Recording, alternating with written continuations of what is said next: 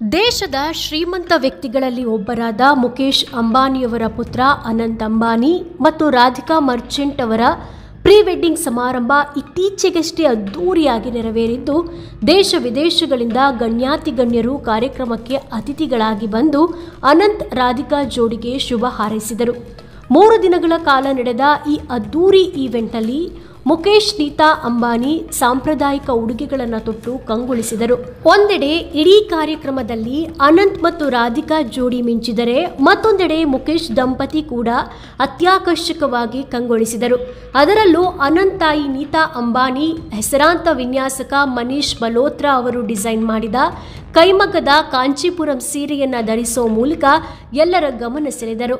ಸೀರೆ ವಿಚಾರ ಮುನ್ನೆಲೆಗೆ ಬರ್ತಾ ಇದ್ದಂತೆ ಅವರ ಕತ್ತಿನಲ್ಲಿ ಕಂಡುಬಂದ ವಜ್ರದ ನೆಕ್ಲೆಸ್ ಸದ್ಯ ಸೋಷಿಯಲ್ ಮೀಡಿಯಾದಲ್ಲಿ ಭಾರಿ ಚರ್ಚೆಗೆ ಗ್ರಾಸವಾಗಿದೆ.